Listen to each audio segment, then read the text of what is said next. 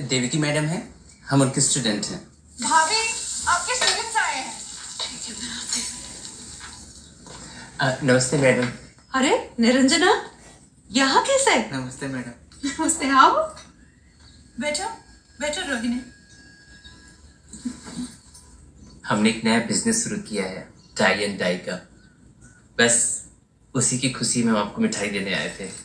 क्या बात है वेरी गुड आपके बिना तो पॉसिबल ही नहीं था।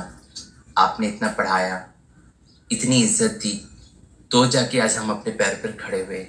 नहीं नहीं ये सब आप ही की मेहनत है। ये आपकी बड़ी बेटी है जिसके बारे में आप बात करती है।